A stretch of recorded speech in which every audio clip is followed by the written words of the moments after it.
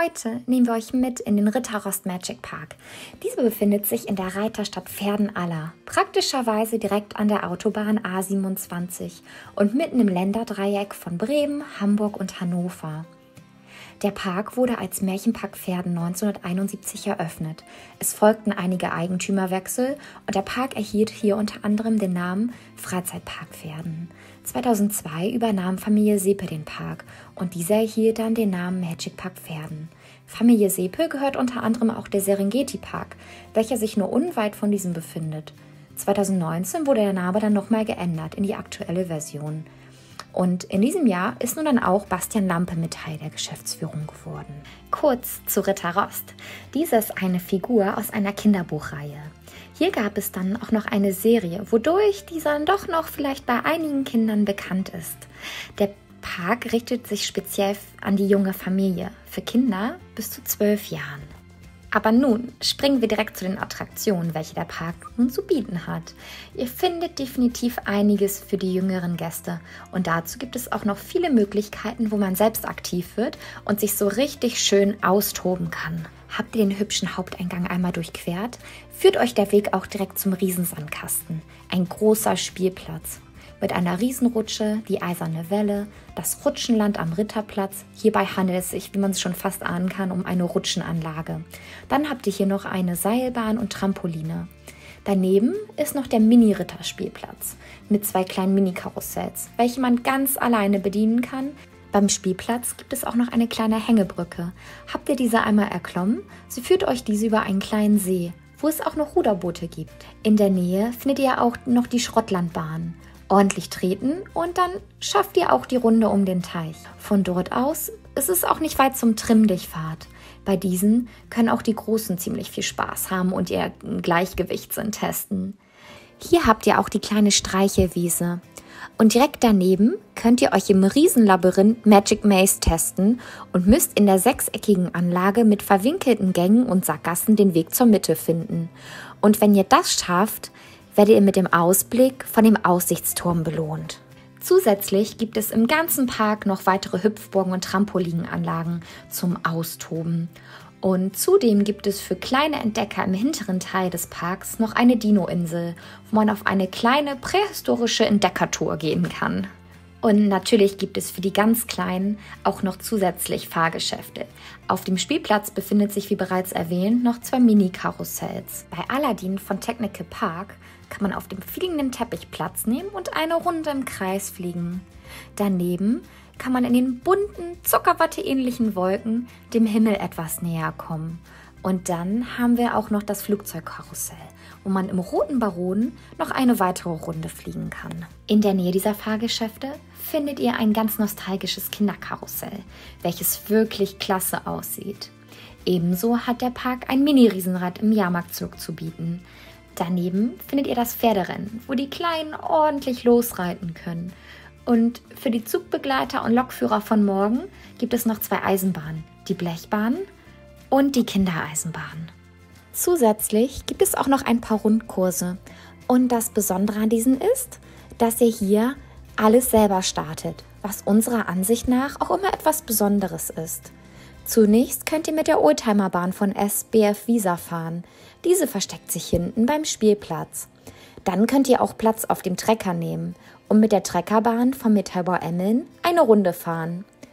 Und dann gibt es noch die Drachenbahn, Koks Freunde vom Metallbau Emmeln, wo ihr selbst ordentlich treten müsst, um mit dem Drachen über die Schiene zu gleiten.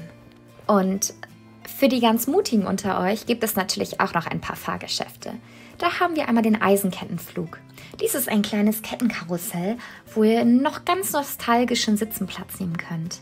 Dann haben wir den fliegenden Ritter, eine Schiffschaukel vom Metallbau Emmeln.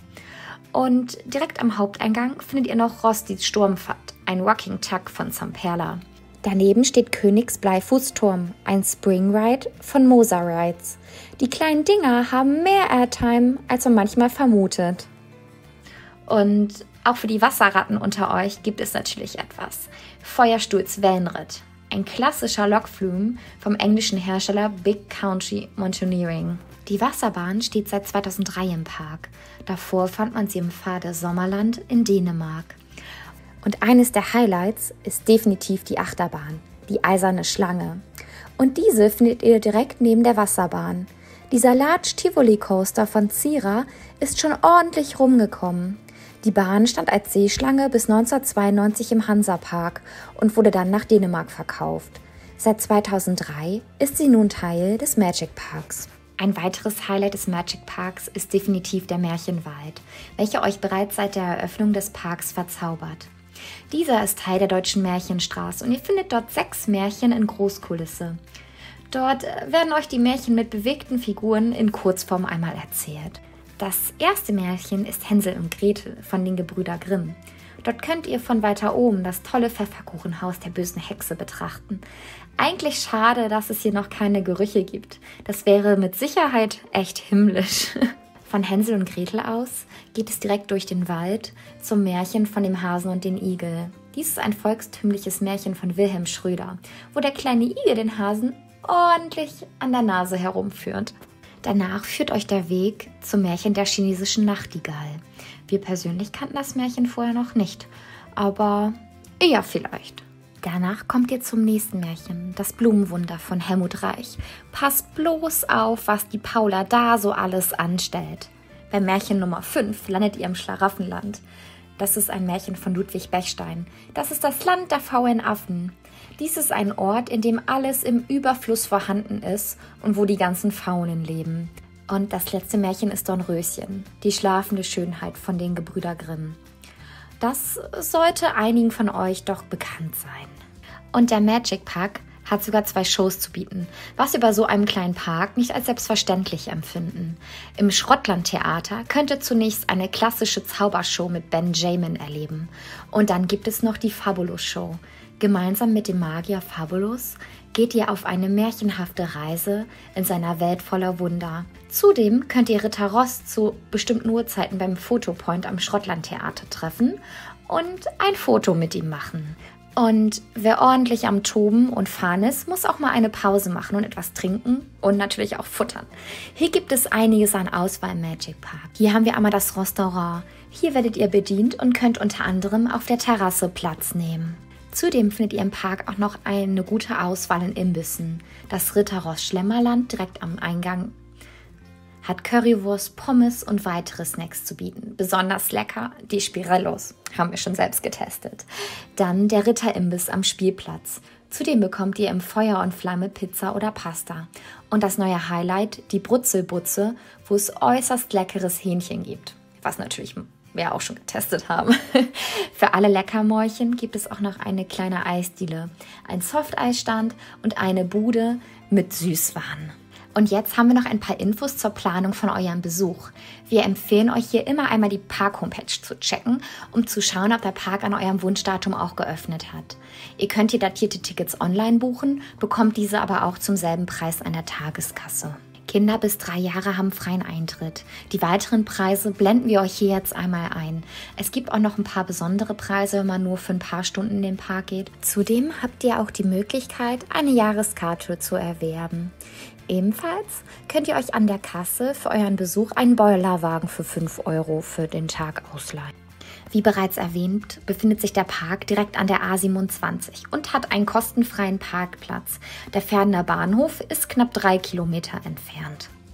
Und zum Abschluss möchten wir natürlich auch noch ein paar Worte sagen. In den letzten Jahren ist wirklich viel passiert. Wir finden, der Park ist wirklich ein schöner Ort für junge Familien mit Kindern bis so circa acht Jahre. Und natürlich ist auch einiges schon in die Jahre gekommen, aber ich finde, das hat irgendwie auch seinen Charme, wenn es noch Dinge gibt, die man vielleicht noch von früher kennt. Aber der Park hat definitiv viel Potenzial. In diesem Jahr gibt es ja auch einen neuen Geschäftsführer und der steckt wirklich sehr viel Herzblut in den Park und man merkt, dass er wirklich Leidenschaft dafür hat. Und wir sind wirklich gespannt, was uns da jetzt erwartet. Natürlich braucht das alles immer etwas Zeit, da muss man immer ein bisschen geduldig sein. Aber wir freuen uns auf die nächsten Jahre und werden natürlich auch dann öfters mal vorbeischauen, da wir auch in der Nähe wohnen. Und wir hoffen, euch hat der kleine Parkcheck gefallen. Und bis dahin, passt auf euch auf. Wenn ihr noch Fragen habt, meldet euch gerne. Bis dann. Tschüss, ihr Lieben.